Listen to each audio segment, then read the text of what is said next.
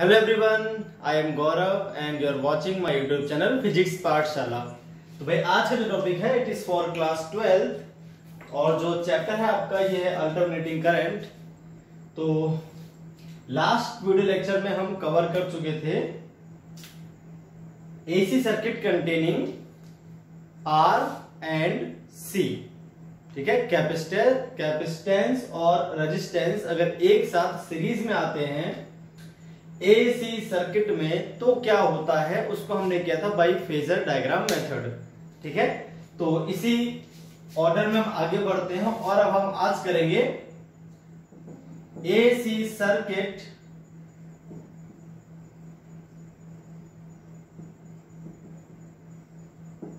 containing L and R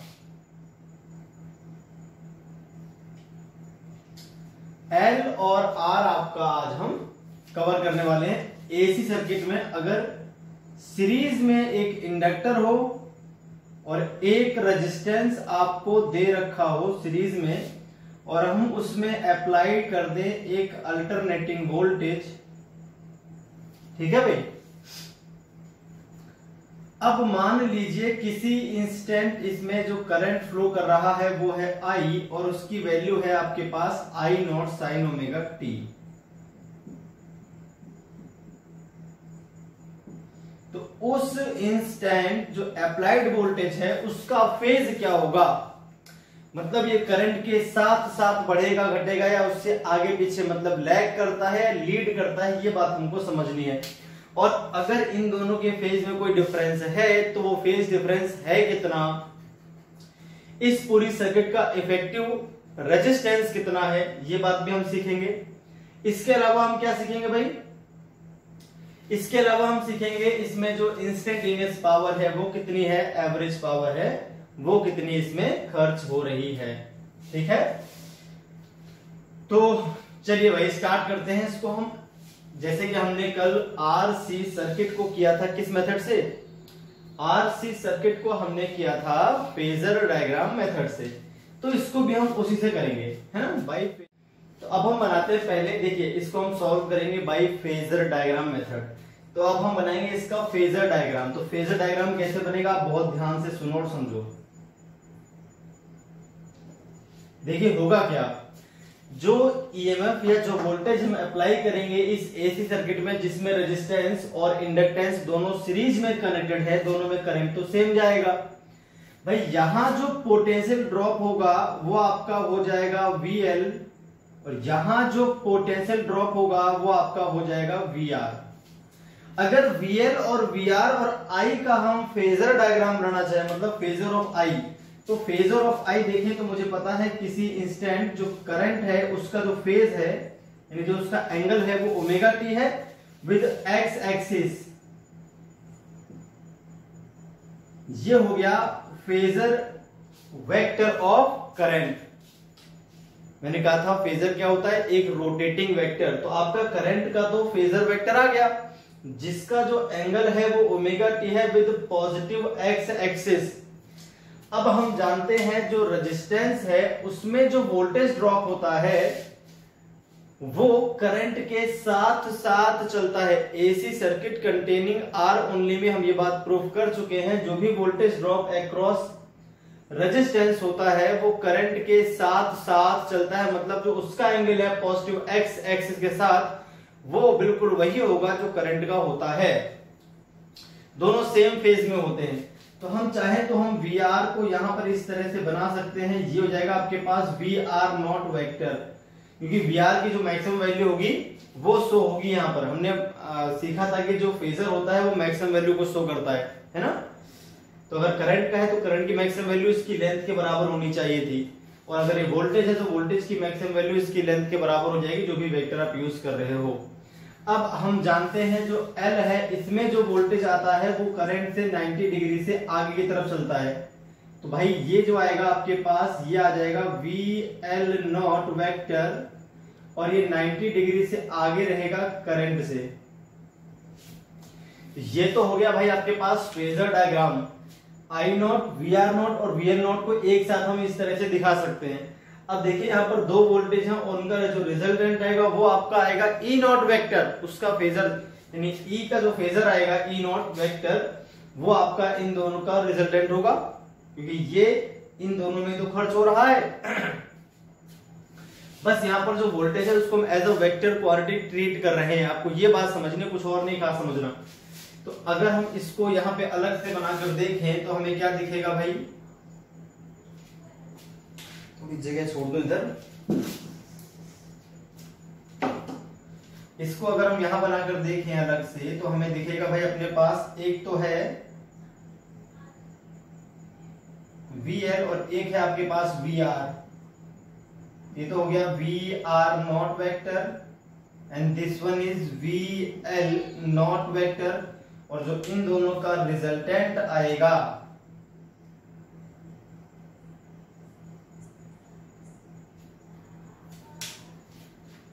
और बड़ा कर लेते हैं इसको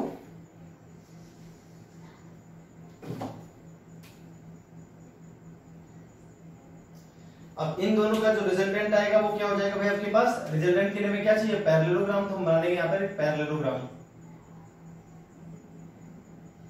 इसके पैरेलल हमने यहां से ड्रॉ कर दी लाइन ठीक है हाँ पैरेलल देख रहे हैं कुछ कुछ और यहां से भी आप एक पैरेलल लाइन ड्रॉ कर लोगे इस तरह से और जो रिजल्टेंट आएगा आपके पास वो कुछ ये आएगा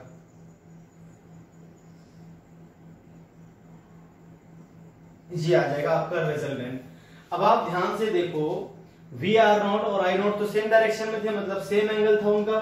अब हम मान लेते हैं जो हमारा रिजल्टेंट है जिसको हम बोलेंगे ई नॉट वेक्टर वो आएगा आपका रिजल्टेंट ये हो गया आपके पास वी एल नॉट वेक्टर ये हो गया आपके पास वी आर नॉट वेक्टर ठीक है भाई इतनी बात तो क्लियर हो गया आपको बात समझ में आगे ये फेजर डायग्राम मेथड है आपको फेजर पहले पता होना चाहिए कि वोल्टेज ड्रॉप होता है वो करंट के साथ साथ चलता है और इंडक्टर में जो वोल्टेज ड्रॉप होता है वो करंट से 90 डिग्री से आगे चलता है और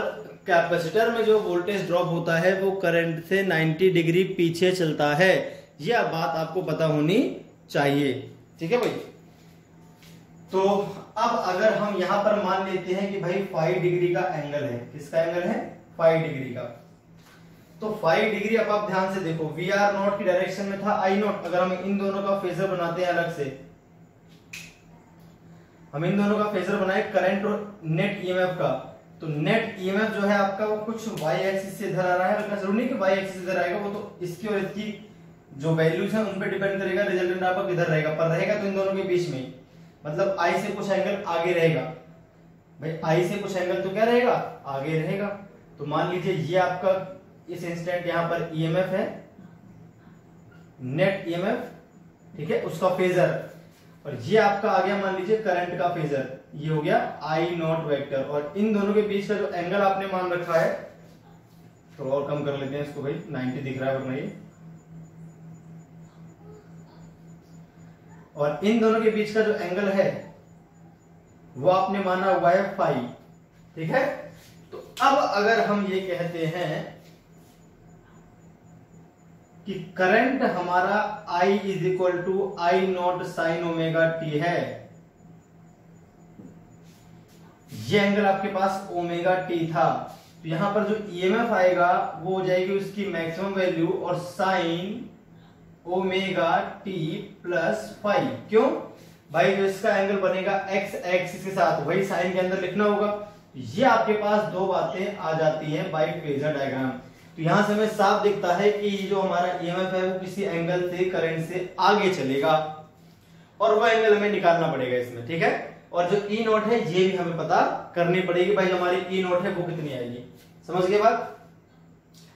तो यहां पर हम एक तो ई e नोट पता करेंगे और एक फाइव पता करेंगे क्योंकि हमें सिर्फ ये दिया था ये हमने खुद ने निकाला है बाई फेजर डायग्राम तो अब आप ध्यान से देखो हेयर अगर हम बात करते हैं ई e नॉट की तो यहां से आप ध्यान से देखो तो ई e नॉट का जो स्क्वायर आएगा क्योंकि भाई ई नॉट इन दोनों का रिजल्टेंट है तो ई नॉट का जो स्क्वायर आएगा दो वेक्टर्स अगर आपस में 90 डिग्री बनाते हो तो उनका रिजल्टेंट क्या आता है उन दोनों के स्क्वायर के सम का रूट तो वी आर नॉट का square plus V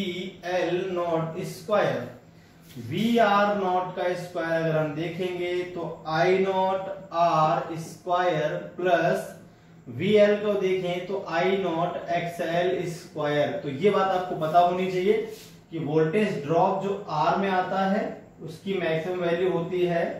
करंट की maximum value multiply the value of resistance and the maximum voltage drop across inductor will be equal to the current multiplied by inductive reactance inductive reactance किसके equal होती है ये आपकी होती है omega multiply L omega is the angular frequency of current and L is the inductor which is connected in series with resistance जहां पर अगर आप ध्यान से देखते हो ई नोट स्क्वायर नहीं सॉरी ई नोट स्क्वायर गलती से लिख दिया मैंने E naught is equal to root के अंदर आ जाएगा ई नोट स्क्वायर लिखना है तो फिर रूट आप नहीं लगाओगे यहाँ पे ठीक है तो ई नोट स्क्वायर हटा दे यहां से सिर्फ ई e नोट लिखना है अपने को आई नोट स्क्वायर दोनों में से कॉमन आ जाएगा अंदर बचेगा आपका R square plus X L square समझ आई बात भाई तो यहां से आपके सामने ई e नोट की वैल्यू तो आ गई ठीक है मैं इसको इरेज कर देता हूं अब इस फिगर की जरूरत नहीं है अपने को आपने बना भी लिया होगा तो ई e नोट तो आपके सामने आ गया कितना E naught is equal to आ जाएगा भाई आई नोट ये हो जाएगा आपके पास root R square plus X L square E naught हो गया ठीक है ये तो आ गया आपके पास ई e नॉट की वैल्यू अब ये जो टर्म लिखा हुआ है ये कांस्टेंट है और इस पूरे को बोलते हैं इफेक्टिव रेजिस्टेंस क्यों अगर हम देखें तो E naught by I naught किसके आ जाएगा भाई root R square plus X L square और भैया जो net voltage upon net current है ये आपका इफेक्टिव रेजिस्टेंस आ जाएगा तो ई नॉट बाई आई को क्या बोल देंगे हम इफेक्टिव रेजिस्टेंस भाई net voltage upon net current क्या होता है आपका इफेक्टिव रेजिस्टेंस जिसको हम इम्पीडेंस भी कहते हैं इसे हम और क्या बोल सकते हैं भाई इम्पीडेंस भी बोल सकते हैं तो इम्पीडेंस जो आपका आता है वो इस केस में कितना आता है आप ध्यान से देखो तो root R square plus X L का स्क्वायर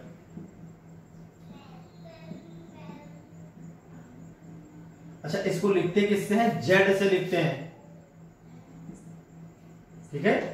यहां से आपका हो गया Z is equal to root R square plus X L को हम लिख सकते हैं वैसे तो यही है या फिर इसको हम ऐसे भी लिख सकते हैं R square plus omega L raised the power two effective resistance चल गया पता मैक्सिमम वैल्यू ऑफ ईएमएफ भी चल गई पता यहां पर ई e नोट तो हमने निकाल दिया इफेक्टिव रेजिस्टेंस भी हमने निकाल दिया अब हम पता करेंगे ये जो एंगल है फाइव ये कितना है यानी जो दोनों के बीच फेस डिफरेंस है वो कितना है ये भी आपको पता करना पड़ेगा ओहो गलत मिला चलिए तो नोट कर लोगे आपने इसको मैं इरेज कर देता हूं फिगर मैंने मिटा दिया उस फिगर का यूज था चलिए कोई बात नहीं फिर दोबारा बना दूंगा मैं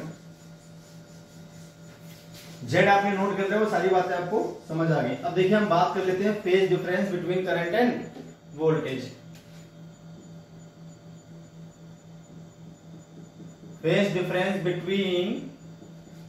E M F and I इसी सर्किट की बात हो रही है भाई अभी काम खत्म नहीं हुआ अभी तो कई बातें निकालेंगे हम इसमें यहां पर हमें पता है जो अपना फिगर बन रहा था वो कुछ इस तरह से था अपने पास यहां पर तो था एक वी आर नॉट वेक्टर और यहां पर था अपने पास कुछ 90 डिग्री के एंगल पर वी एल नॉट वेक्टर और जो इन दोनों का रिजल्टेंट था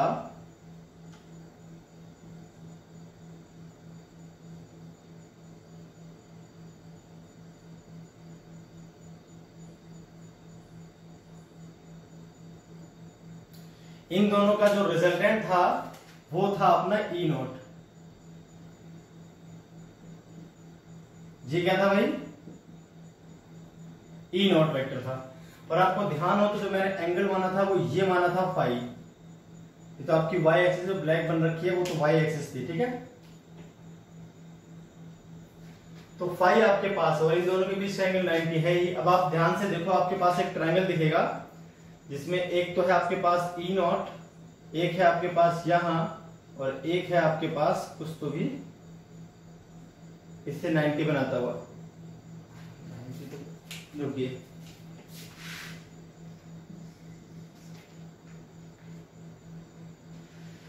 एक अपने पास ये है और ये 90 बनाती हुई लाइन इस तरह से है और फिर आपके पास एक नेट दिखा रखा है जो ई नोट है ये ये तो हो गया आपके पास ई नॉट अब देखिए अगर इसकी लेंथ वीएल नॉट है तो इसकी लेंथ भी क्या आएगी वीएल नॉट तो ये हो गया आपके पास वीएल नॉट और ये आपके पास इसकी लेंथ इस वेक्टर की वैल्यू के बराबर मतलब वी आर नॉट हो गया ये एरो बनाने की जरूरत नहीं है ठीक है अब इस ट्राइंगल में यहां पर देखें तो इस जगह पर एंगल क्या बन रहा है भाई फाइव बन रहा है है ना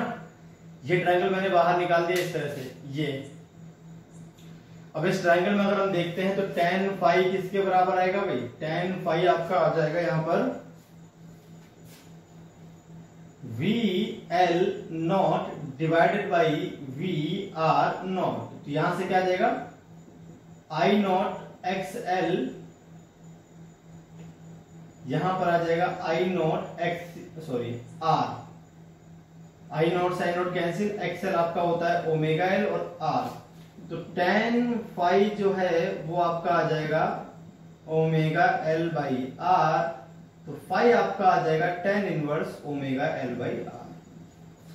ये फेज डिफरेंस आपका आएगा आपको ओमेगा क्वेश्चन में दिया होगा इंडक्टेंस आपको क्वेश्चन में दी होगी रेजिस्टेंस आपको क्वेश्चन में दिया होगा आप इजिली निकाल पाओगे करंट और ईएमएफ e जो है उनका फेज डिफरेंस क्या है अब इसमें लीड कौन कर रहा है इसमें लीड कर रहा है भाई आपका EMF in L R circuit EMF leads to current by angle phi is equal to tan inverse omega L by R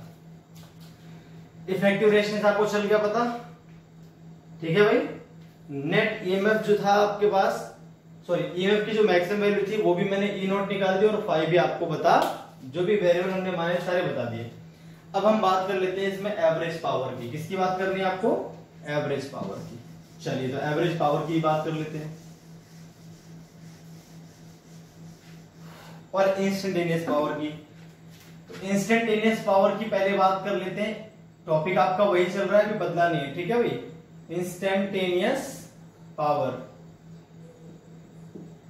instantaneous power जो आएगी तो power instantaneous is equal to हो जाएगा करंट की इंस्टेंटेनियस वैल्यू और EMF e की instantaneous value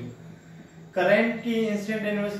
instantaneous value अपने I naught sine omega T मान रखी थी और ईएमएफ e की मानी है E naught sine omega T plus phi ये तो मानिए आपने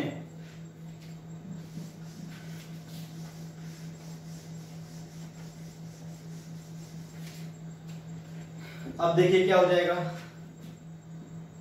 आई नॉट ई नॉट ठीक है जैसे हमने कल किया था टू से मल्टीप्लाई टू से divide sine omega t sine omega t plus five ये आ गया आपके पास अब आपको पता होना चाहिए मैंने कल इसको सॉल्व किया था two sine A sine B होता है cos A minus B minus cos A plus B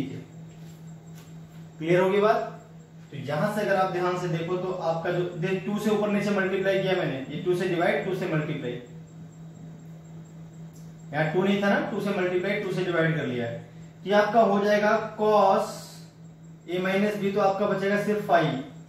फिर minus cos two omega T plus phi ये आ जाएगा आपके पास यहां जो कॉस फाइव है ये आपका कांस्टेंट है फाइव क्या है यहां पर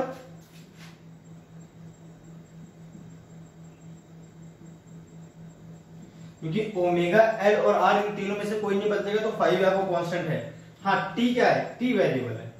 टी आपका वेरिएबल है ये हो गई भाई आपकी इंस्टेंटेनियस पावर के लिए फॉर्मूला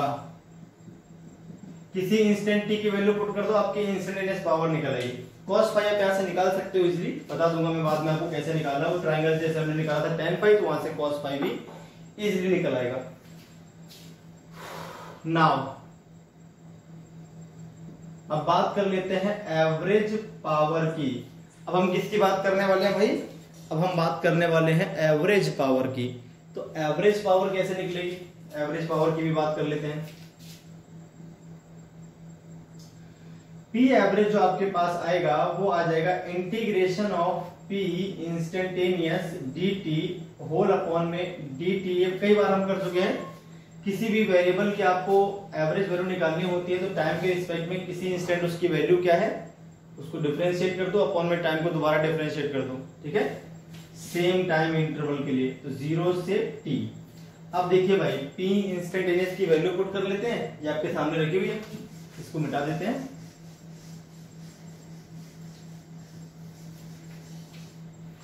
तो ये है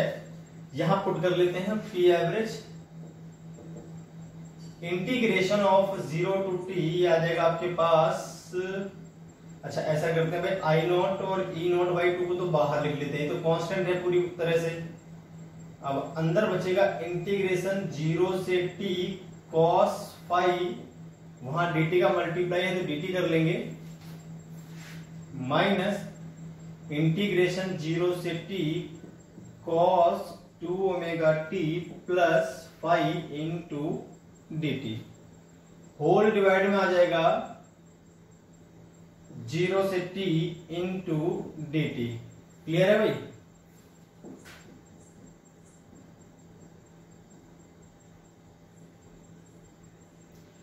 अब कॉस फाइव तो कांस्टेंट है टी तो आ जाएगा आपका बाहर अंदर बचेगा जीरो से T D T whole upon में देखें क्या बचेगा पहले इसका इंटीग्रेशन आएगा स्मॉल टी लिमिट आ जाएगी जीरो से कैपिटल टी अब देखिए यहां पर क्या बचा हुआ है minus integration of cos two omega T plus phi into D T zero से टी अब मैं आपको बता दूं इसका जो इंटीग्रेशन आता है कॉस की जो एवरेज वैल्यू देखिए टाइम के लिए दिखा रखा है यहाँ पे आपको तो कॉस टू ओमेगा टी हो चाहे कॉस ओमेगा टी हो ठीक है चाहे कॉस फोर ओमेगा टी रहा होता और प्लस माइनस में कुछ भी रहे अब टाइम के रिस्पेक्ट में जब फुल साइकिल के लिए कॉस और साइन दोनों की जो एवरेज वैल्यू होती है वो जीरो होती है तो अगर लीनियर दे रखा है कॉस और साइन तो उसकी जो एवरेज वैल्यू आती है वो क्या आती है भाई जीरो आती है फुल साइकिल के लिए आपको ध्यान रखनी बात तो जो ये टर्म लिखा हुआ है cos two omega T plus phi इसकी जब आप इसको जब आप इंटीग्रेट करोगे विद प्रॉपर लिमिट जीरो से लेकर टू तो आपका आंसर जीरो आना है ठीक है तो ज्यादा मैथमेटिक्स को हम यहाँ पर कर रहे हैं थोड़ा इग्नोर ताकि हमारा टाइम बच जाए cos two omega T plus phi into D T अगर जीरो से टी लिमिट ध्यान रखिए जीरो से टी होगा तभी जीरो आएगा आंसर ये होता है जीरो के बराबर अगर ये आपका जीरो के बराबर है तो उस केस में आपके पास आंसर क्या बचेगा भाई I naught E naught by two यहां पर आपके पास बच जाएगा सिर्फ कॉस फाइव टी का इंटीग्रेशन टी और लिमिट रखूंगा तो टी बच जाएगा डिवाइड में आपके पास टी बच जाएगा माइनस जीरो टी से टी कैंसिल हो जाएगा तो फॉर्मूला फाइनली आपके पास आएगा पी एवरेज का तो फाइनली जो पी एवरेज का फॉर्मूला आ गया वो आ गया I naught E naught cos phi divided by two T से टी तो कट गया तो पी एवरेज आपके पास आ गया I naught E naught divided by two multiplied by cos phi ये आपके पास एवरेज पावर का फॉर्मूला है देखिए बिल्कुल मैच करता है किससे आरसी सर्किट से बस वहां पर जो फाइव था वो अलग था उसकी फाइव था वहां पर tan inverse one upon omega C R यहां पर जो फाइव आएगा वो आ जाएगा tan inverse omega L by R ठीक है भाई फर्क है थोड़ा सा अब जैसा कि हम जानते हैं जो आई आर एम एस और ई आर एम एस होते हैं ये होता है I naught by root two और ये होता है आपके पास E naught by root two clear होगी बात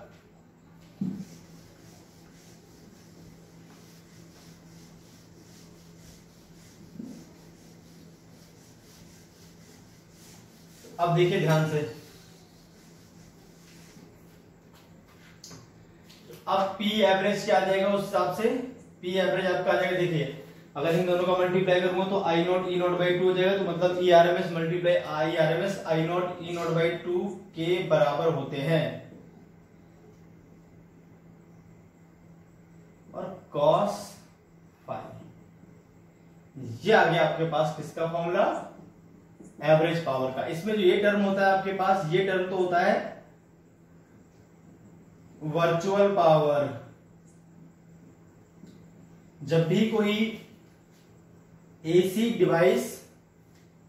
AC measuring device मतलब करंट को मेजर करने वाली मतलब हीटिंग इफेक्ट पे काम करने वाली कोई भी डिवाइस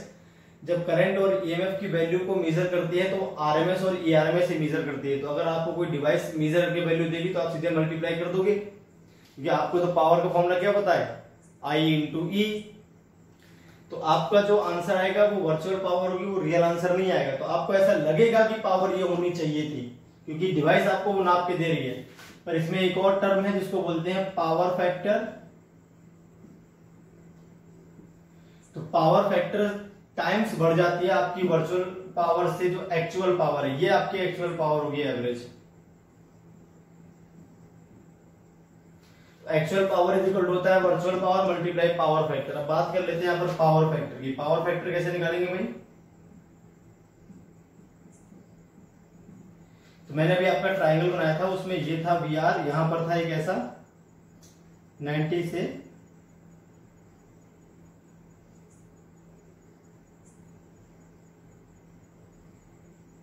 ठीक है इस तरह से ये थी लेंथ ई e नॉट ये था आपके पास वी एल नॉट और ये था आपके पास वी आर नॉट यहां पर एंगल फाइव बना हुआ था तो फेजर डायग्राम मैंने बनाया था अगर यहां से हम कॉस फाइव निकालते हैं तो जो आपका कॉस फाइव आ जाएगा कॉस फाइव कितना आ जाएगा भाई अगर यहां से हम ध्यान से देखें तो वी आर नॉट अपॉन में E e naught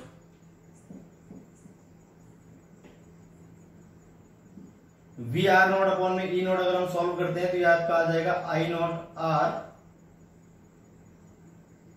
ठीक है और ये होता है आई नॉट इंटू जेड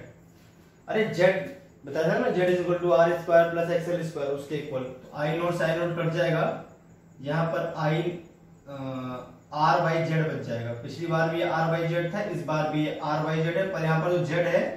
वो पिछली बार से अलग है इफेक्टिव रेजिस्टेंस यहां पर कितना है R square plus X L square तो ये आ गया आपका पावर फैक्टर ठीक है तो ये सारी बातें थी जो मैंने आपको सिखा दी किसके लिए एल आर सर्किट के लिए इसमें जो आपका ईएमएफ है ये जो ईएमएफ है आपका यहाँ पर करंट से आगे चलता है किसी एंगल फाइव से यहाँ पर जो फेस डिफरेंस है करंट और ईएमएफ के बीच का वो फाइव है ईएमएफ e यहाँ पे लीड करता है इफेक्टिव रेजिस्टेंस आपका होता है root R square plus XL square E not की वैल्यू आपको पता है आई नॉट मल्टीप्लाई जेड जहां पर जेड आपको ये बता दिया मैंने एवरेज पावर की आपका फॉर्मूला है इंस्टेंटेनियस पावर के लिए आपके पास फॉर्मूला है तो सारी बातें मैंने यहाँ पर लगभग लगभग आपकी कवर कर दी फेजर डायग्राम मेथड से हमने सॉल्व किया है तो भैया ऐसे ही हम बात कर लेते हैं किसकी एलसी सर्किट की किसकी बात करेंगे एलसी सर्किट की चलिए एलसी सर्किट की भी बात कर लेते हैं AC circuit containing L and C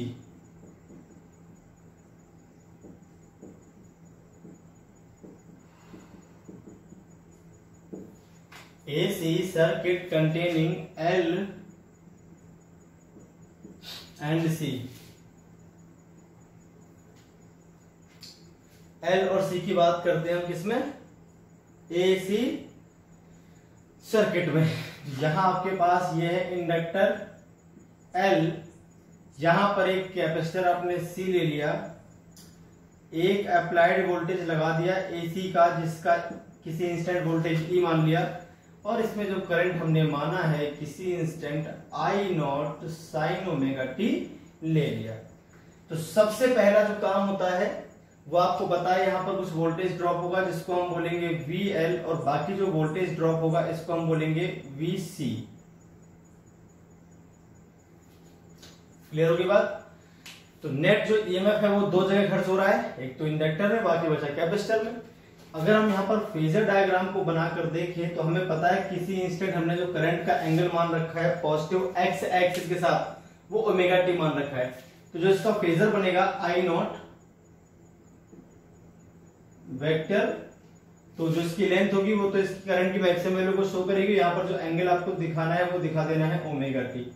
अब आपको एक बात पता है यहां पर आर तो है नहीं जो वोल्टेज वीएन होता है वो एसी करंट से 90 डिग्री आगे चलता है मतलब किसी भी इंडक्टर में जो वोल्टेज ड्रॉप आएगा वो इससे 90 आगे चलता है और VC आपका 90 डिग्री चलता है पीछे करंट वेक्टर से करंट के फेजर से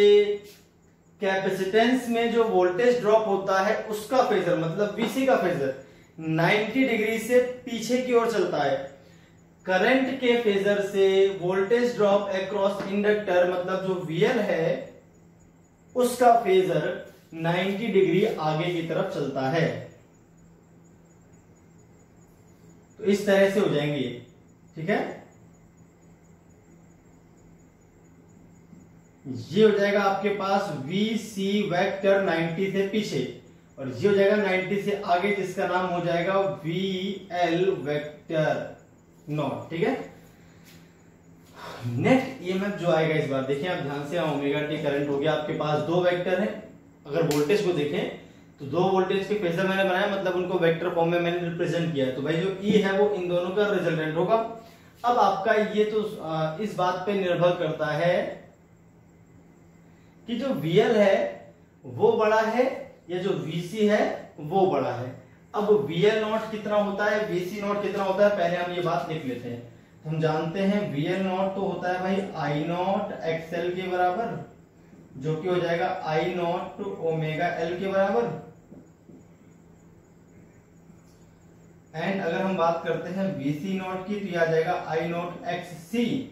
ये होता है I naught one upon omega C X C किसके बराबर होता है भाई वन अपॉन ओमेगा सी के ये आपका बी सी नोट है ये बी एल नोट है अब ये बात इस इन दोनों में से कौन सा बड़ा है ये किस बात पर निर्भर करेगा कि ओमेगा की वैल्यू क्या है ठीक है और इंडक्टेंस और कैपेसिटेंस की वैल्यूज क्या है ये आपने फिगर बनाई है इसकी अब जरूरत नहीं इसको हटा देते हैं ठीक है आई आपने पहले से मान रखा I naught sine omega T उसी अकॉर्डिंग हम बात करेंगे लेफ्ट VL जो है आपका वो बड़ा है किससे VC नॉट से अगर VL नॉट आपका जो है VC नॉट से बड़ा आएगा तो उस केस में जो रिजल्टेंट होगा आपका वो किस डायरेक्शन में से होगा वो VL की डायरेक्शन में से होगा यहां पर अगर हम ध्यान से देखें हमारे पास जो रिजल्टेंट वेक्टर बचेगा वो कुछ इस डायरेक्शन में बचेगा ये क्या है आपके पास ये था था सी नॉट ये क्या है आपके पास ये है आपके पास एल नॉट यहां पर जो रिजल्टेंट बचेगा वो दिस माइनस दिस तो यहां कुछ इतना बच जाएगा ये आपका हो जाएगा रिजल्टेंट इसको हम बोलेंगे ई नॉट वेक्टर अब दो वेक्टर जो कि अपोजिट डायरेक्शन में हो उनका रिजल्टेंट कैसे निकलता है यार ई e नॉट जो आपका आ जाएगा ये हो जाएगा सीधे सीधे V L not minus V C not अब अगर ऐसा है तो ये आ जाएगा इसका उल्टा भी हो सकता है है ना भाई इसका उल्टा भी हो सकता है हो सकता है वीसी नॉट बड़ा हो तो उस केस में आपके वी एल वी सी ये भी आ सकता था ई e नॉट आपका E naught is equal to V C naught minus V L naught उस केस में कौन बड़ा होता है इफ सी नॉट जो है वो बड़ा होता वी एन नॉट से तो ये भी कंडीशन पॉसिबल होती तो अभी हम ये वाली कंडीशन लेके चल रहे हैं ठीक है भाई तो यहाँ पर अगर हम ध्यान से देखें तो यहाँ पर I naught X L minus I naught X C हो जाएगा ई e नॉट तो यहाँ पर जो आपके ई e नॉट की वैल्यू है वो तो आई निकल अगर आई नॉट हम कॉमन ले लेते हैं यहाँ से तो X L minus X C is equal to आ जाएगा सीधे सीधे e E naught E naught तो आपके पास ये आ गया मैक्सिमम वैल्यू ऑफ वोल्टेज अब अगर यहां से आगे देखें तो ई नोट डिवाइड कर दीजिए आई नोट को तो ये बचेगा आपके पास X L minus X C E naught by I naught को बोलेंगे इफेक्टिव रजिस्टेंस ऑफ सर्किट उसका नेट ईएमएफ उसका नेट करंट डिवाइड करते हैं लोग ये आपके पास आ जाएगा जेड के बराबर जिसको हम बोलते हैं इफेक्टिव रेजिस्टेंस ऑफ सर्किट जिसको हम इम्पीडेंस भी कहते हैं क्या बोलते हैं भाई अलग अलग सर्किट का जो इम्पीडेंस होता है वो अलग अलग आता है in different circuits the impedance is different ठीक है वो डिपेंड करता है उस सर्किट में कौन सी चीजें लगी हुई हैं अब इसकी जरूरत नहीं इसको देते हैं हम मिटा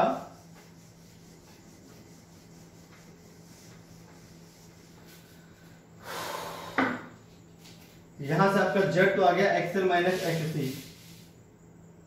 effective resistance निकाल दिया मैक्सिमम वैल्यू निकाल दी है ना अगर हम देखते हैं फाइव फाइव क्या होता है भाई फाइव जो होता है now phase difference between current and voltage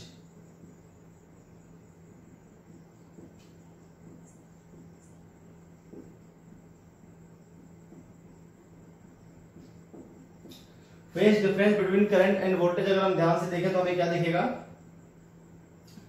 जो हमारे पास फेजर था उसमें एक तो हमने माना था भाई यहां पर आई नॉट वेक्टर और हमारा जो ई e नोट आया है वो बी एल डायरेक्शन में मतलब जो ई e नोट है आपके पास वो 90 का एंगल बनाता होता है फाइव क्या है आपका दोनों के बीच जो एंगल का अंतर है वो कितना है 90 डिग्री का आगे इस कंडीशन में जब आपका वीएल नोट से बड़ा होगा किससे वीसी नोट से तो उस केस में ई e आपका नाइनटी से आगे चलेगा है ना फाइव इक्वल टू क्या आ गया भाई 90 डिग्री अब अगर current I I is equal to I naught sine omega T है जो आपका ई एम एफ आ जाएगा आएगा वो आ जाएगा E naught sine omega T plus pi by two समझ के बाद कब if V L naught is greater than V C naught ठीक है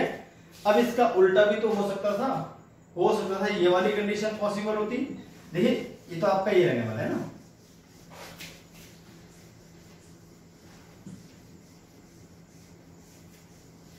अब अगर हम उल्टा ज्यूम कर ले यहां पर मान ले भाई बीसी बड़ा है बीएल से let VC is greater than VL naught जो रिजल्टेंट बचेगा वो उल्टा बचेगा भाई तो आपको यहां दिखाना पड़ेगा थोड़ा छोटा वेक्टर बीएल की डायरेक्शन में और बीसी आपको दिखाना पड़ेगा बड़ा वेक्टर है ना किसको भेजता हूं बेटा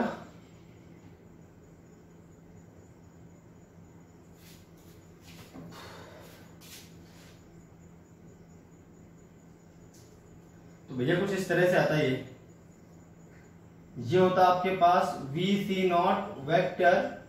ये आपके पास होता वी एल नॉट वेक्टर और जो रिजल्टेंट आता आपके पास वो यहां आता कुछ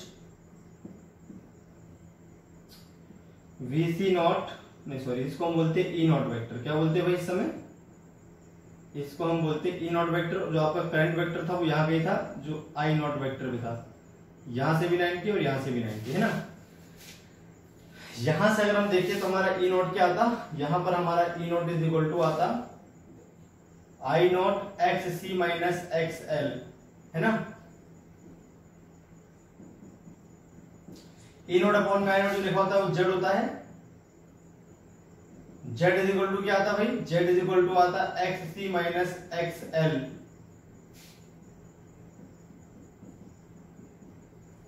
ठीक है X C minus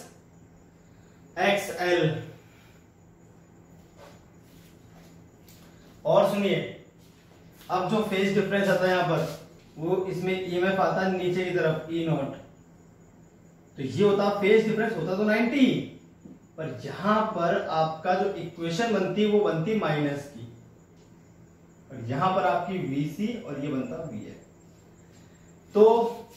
यहां ईएमएफ e 90 डिग्री से आगे भी हो सकता है और एफ e 90 डिग्री से पीछे भी हो सकता है अगर आपकी सर्किट कौन सी है आपके सर्किट अगर आर सर्किट है दोनों बातें पॉसिबल होती है तो यहां पर हम ये बात लिख देंगे in this circuit current either leads by pi by two और length by pi by 2 to the current.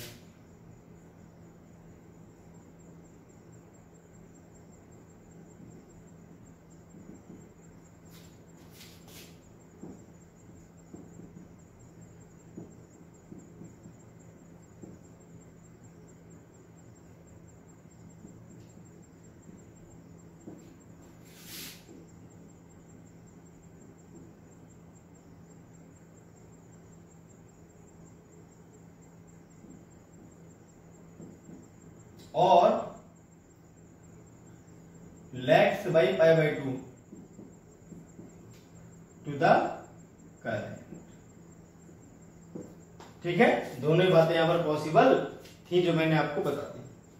तो हमने हमने एक तो निकाल दिया फाइव फाइव तो सीधे नाइनटी आ गया इस बार फाइव के आगे सीधे सीधे नाइनटी आ गए डायरेक्ट या तो आ गया तो पीछे दोनों बातें पॉसिबल है यहां पर ठीक है यहां पर अगर हम बात कर लेते हैं किसकी इंस्टेंटेनियस पावर की किसकी बात कर लेते हैं भाई अगर हम यहां पर बात कर लेते हैं इंस्टेंटेनियस पावर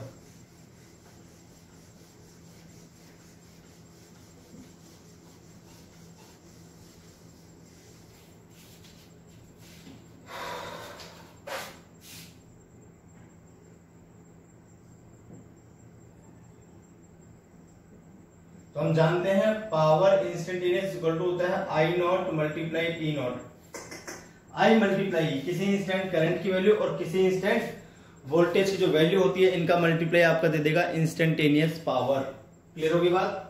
अगर हम यहां पर बात करें तो ये हो जाएगा I not sine omega T और ये हो जाएगा आपके पास E not sine omega T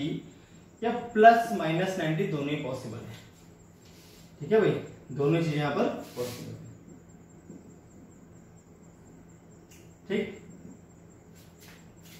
ये आपके पास आ जाएगा I naught multiply E naught I naught multiply E naught आ जाएगा क्लियर होगी बात तो इसमें दो से डिवाइड कर लो और यहां टू से आप मल्टीप्लाई कर लो ठीक और ये हो गया आपके पास sine omega T plus minus ninety अब देखिए फॉर्मूला क्या होता है two sine A sine B is equal to मैंने भी आपको बताया था cos A minus B minus cos A plus B आता है ये फॉर्मूला होता है अगर इस फॉर्मूले से हम ध्यान से देखें तो हमें क्या दिखेगा I naught E naught by two minus करूंगा तो यहां क्या बचेगा भाई cos plus minus ninety degree omega T से ओमेगा कट ओमेगा टी से ओमेगा टी कट जाएगा फिर minus cos two omega T plus minus ninety ठीक है अब आप ध्यान से देखो ये आ गया आपके पास टी इंस्टेंटेनियस क्या आ गया आपके पास तो कॉस 90 की वैल्यू आप जानते हो जीरो होती है तो यहां पर हो जाएगा आई नॉट बाई ई इस तरह से ठीक है और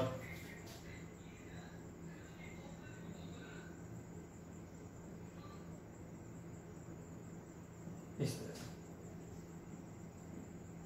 ये आ गया आपके पास पी इंस्टेंटेनियस क्लियर है भाई अब हम बात कर लेते हैं पी एवरेज की तो पी एवरेज आपकी जीरो आ जाएगी अपने आप अब जीरो कैसे आएगी वो देख लो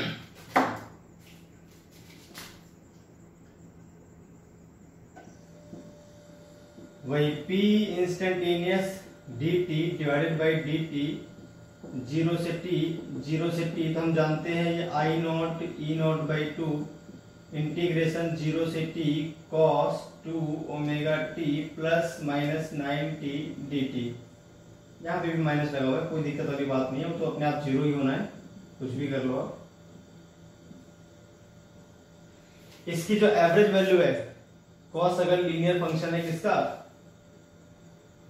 कॉस की पावर वन हो और वो टाइम पे सीधे डिपेंड करता हो डायरेक्टली प्रोपोर्शनल तो उस कंडीशन में जीरो से लेकर टी यानी फुल साइकिल के लिए अगर उसको हम करते हैं इंटीग्रेट तो इसका आंसर जीरो आता है तो I naught E naught by two T multiply zero क्योंकि अभी मैंने बताया था ना आपको cos omega T plus minus कुछ भी दिया हो इसका इंटीग्रेशन जीरो से लेकर टी डी बराबर आ जाएगा जीरो आपको सॉल्व करने की जरूरत नहीं मैथमेटिकल मैथमेटिकली आप इजीली सॉल्व कर सकते हो नॉन मेडिकल के जितने बच्चे हैं आसानी से सॉल्व कर सकते हैं और बायो वालों को खास कोई जरूरत नहीं है इसको समझने की आप सीधे याद कर लो इंटीग्रेशन ऑफ कॉस और sine for full cycle zero आता है ठीक है तो आपकी एवरेज पावर क्या आ गई यहां पर जीरो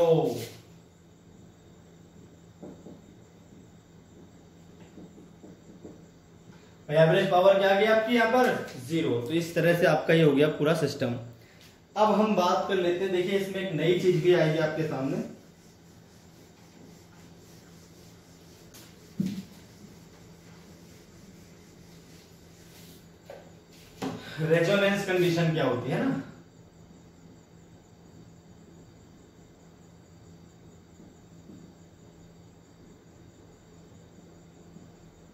रेजोनेंस कंडीशन क्या है in this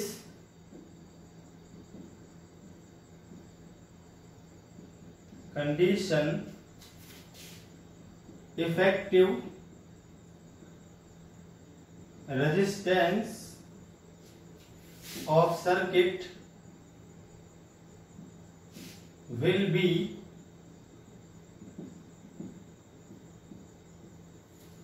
minimum ठीक है भाई विल बी मिनिमम क्लियर होगी बात अब देखिए जो रेजिस्टेंस है वो होता कैसा है भाई रेजिस्टेंस आपका पॉजिटिव होता है वो नेगेटिव तो होता नहीं है तो रेजिस्टेंस की मिनिमम वैल्यू क्या सकती है जीरो रेजिस्टेंस की वैल्यू अगर हम देखें यहां पर जेड इक्वल टू क्या लिखा हुआ है एक्सएल माइनस एक्सी है अब अगर ये दोनों बराबर हो गए मान लीजिए एक्स सी बड़ा है तो नेगेटिव ऐसा तो पॉसिबल नहीं है मैंने कहा था अगर एक्स सी बड़ा है तो एक्स सी माइनस एक्सएल करना पड़ेगा आपको ये मोड होता है एक्चुअल में आपको ध्यान रखना है क्या होता है अभी मोड होता है क्योंकि तो जेड की value X C minus XL भी होती है और जेड की value XL minus X C भी होती है वो डिपेंड करता है बड़ा कौन है जो बड़ा है उसमें से हमेशा छोटा वाला माइनस करना है जेड इज इक्वल टू आपके पास ही होता है तो जेड मिनिमम क्या आ जाएगा भाई यहाँ पे जेड मिनिमम आपका जीरो आ जाएगा हैंस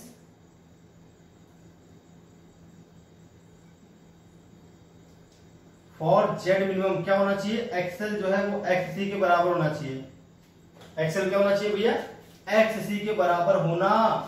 चाहिए अगर एक्स एल आपका एक्स सी के बराबर होगा अरे मैंने भी कहा था जो इम्पीडेंस है आपका वो कभी नेगेटिव नहीं आएगा भाई वो इफेक्टिव रेजिस्टेंस है वो नेगेटिव थोड़ी आएगा वो तो जीरो आ सकता है सबसे कम तो इसकी मिनिमम वैल्यू जीरो होगी यहाँ पर एक्सएल एक्सी के बराबर हो गया और जब एक्सएल एक्सी के बराबर होगा तो हम बोलेंगे ओमेगा एल बराबर वन अपॉन ओमेगा सी तो यहां से आपके पास एक एंगुलर फ्रिक्वेंसी आएगी यानी जो करंट है जो ईएमएफ है अगर उसकी frequency one upon root L के बराबर होती है तो इस केस में क्या होता है आपका इफेक्टिव रेजिस्टेंस जीरो आता है यानी मिनिमम हो जाता है इस केस में ठीक है this frequency is called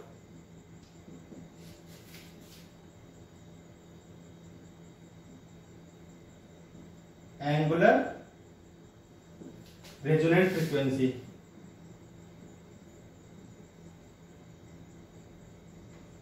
ठीक है और अगर हम न्यू निकालें केवल फ्रीक्वेंसी निकालें तो वन अपॉन टू पाई हो जाएगा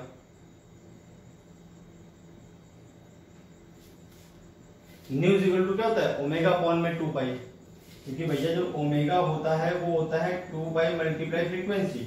तो वहां से फ्रीक्वेंसी इक्वल टू ही आ जाएगा तो ये आपके पास आ जाएगा फ्रीक्वेंसी के लिए ये आ जाएगा एंगुलर फ्रीक्वेंसी के लिए ठीक है तो रेजोनेंट फ्रीक्वेंसी आप समझ गए रेजोनेंट फ्रीक्वेंसी क्या है भाई आपके पास ये आ गई और जब ये फ्रीक्वेंसी कब रहेगी जब आपका जेड मिनिमम होगा ठीक है in this condition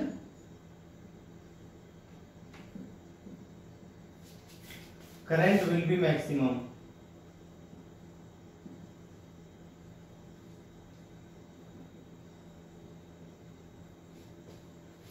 ठीक है तो आपके पास जो आपने अप्लाई किया है वोल्टेज अगर उसकी फ्रीक्वेंसी इससे मैच कर जाती है तो उस कंडीशन में जो सबसे ज्यादा करंट फ्लो करता है किसमें एल सी सर्किट में और उस कंडीशन में उसका जो रेजिस्टेंस है वो होता है मिनिमम भाई जो उसका रेजिस्टेंस है वो क्या होता है मिनिमम तो ये सारी बातें थी जो मैं आपको बतानी थी किस सर्किट के बारे में भाई हमने आज जो कवर की है वो कवर की है एल सर्किट और दूसरी सर्किट जो हमने कवर की है वो थी एल सर्किट सारी बातें हमने इनके बारे में पढ़ ली कि एवरेज पावर क्या है इंसिडेंस पावर क्या है इफेक्टिव रेजिस्टेंस क्या है ठीक है और रेजोनेंट कंडीशन क्या थी दोनों सर्किट में तो रेजोनेंट कंडीशन तो आपकी सिर्फ किस में आई है सी सर्किट में आई है और जो इसके बाद हम नेक्स्ट कवर करेंगे वो होगी आपके एल सीरीज यानी आपके तीनों एल सी और आर तीनों इस सीरीज में होंगे ये आपका मेन टॉपिक रहेगा और पैरेलल में रहेंगे ठीक है इसके बाद वाले में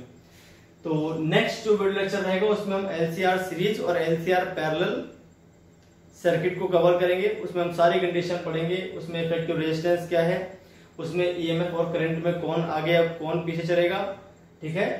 पावर क्या आएगी इंस्टेंटेनियस और एवरेज और पावर फैक्टर और वर्चुअल पावर क्या रहेंगी ठीक है रेजोनेंट कंडीशन क्या रहेगी और रेजोनेंट कंडीशन में आपका जेड है वो रहेगा कितना अगर मिनिमम है तो रहेगा जैसे यहां पर तो जेड आपका जीरो हो गया तो अगले वाले में जेड आपका जीरो नहीं आएगा लेकिन वो मिनिमम उतना ही आ सकता है उससे कम वो आएगा ही नहीं ठीक है ये पूरी कंडीशन थी आपके पास ये कंडीशन थी आपकी रेजोनेंट कंडीशन अगर आपके करंट की या ईएमएफ e की frequency one upon root LC होती है सर्किट एसी जिसमें एल और सी है उसमें अगर आपकी करंट की फ्रीक्वेंसी इससे मैच करती है तो आपका करंट उस केस में उस सर्किट में मैक्सिमम रहता है और जो आपका इफेक्टिव रेजिस्टेंस है वो होता है मिनिमम और इस केस में वो जीरो आता है अगर हम बात करते हैं एल सी सर्किट की तो क्लियर हो गई भाई बात ये सारी बातें थी जो आज के वीडियो लेक्चर में हमने कवर की आई होप आपको पूरी बात समझ में आ गई होगी तो फिर मिलते हैं नेक्स्ट वीडियो लेक्चर में एलसीआर सर्किट इन सीरीज और एलसीआर सर्किट इन पैरेलल इन दोनों की बातें करेंगे हम नेक्स्ट वीडियो लेक्चर में तो आज के लिए इतना ही फिर मिलते हैं नेक्स्ट वीडियो लेक्चर में